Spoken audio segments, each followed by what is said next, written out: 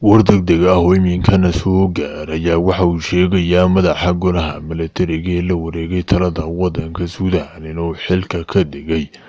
Maalin kadib markii afgembiga xukunka looga tuuray hogaamiyihii muddada fog ka talinayay dalka suudaan cumar xasan al bashiir xilli ay socdaan dibadbaxyo aada u waaweyn oo ka soconaya waddanka suudaan wasiirka gaashaandhigga axmed cawaafa bin cawf ayaa isagu go'aankan ugu dhawaaqay telefishinka qaranka waxaana uu shaaciyey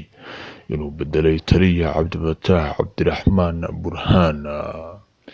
go'aankiisan ayaa yimid kadib markii dibadbaxayaashu ay diideen in waddooyinka ay ka tagaan iyagoo sheegay in hogaamiyaasha afgembiga ay aada ugu dhow yihiin. Madaxweynihii hore ee waddankaasi cumar xasan al bashiir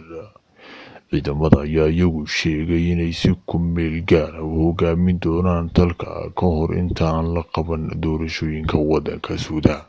Axmed cawad bin cawf ayaa isagu ahaa madaxii sirdoonka milatariga intii uu socday dagaalkii daarfuur sannadkii labadii kun bashiir ayaa isagu maxkamadda caalamiga ee dembiyada ay ku soo oogtay dacwada la xiriira dembiyo dagaal iyo dembiyo kalena bani-aadanimada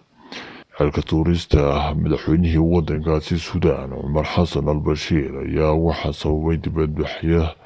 dalkaasi ka socday tan iyo bishii disembar ee sannadkii laba kun sideed iyo tobankii. Dibadbaxyadani ayaa waxaa ku dhintay ugu yaraan soddon iyo sideed qof daawadayaal waxay ku soo kordha wararka. Ugu dambeeyay xaalada waddanka suudaan hadba waxaynu idinkugu soo gudban doonaa wararka iyaga soo-aadan